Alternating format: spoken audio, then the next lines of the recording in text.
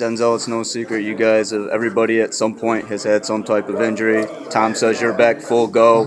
How big is this this uh, week of rest for you guys going into Michigan? Uh, it's huge. You know, it's gonna you know get you know us healthy. You know, we're gonna uh, get off our legs a little bit, but also at the same time, you know, retrain ourselves. You know, get back in shape and uh, be ready for this tough stretch. Marvin actually mentioned Marvin Clark that not only the, the physical part of it, but mental, watching a lot of film too. Do you feel like this week could be big for that? Yeah, big mental. You know, watching film. You know, um, you know, mental break. You know, from from the daily grind and practice and then games and traveling and things like that. So, break is gonna be nice.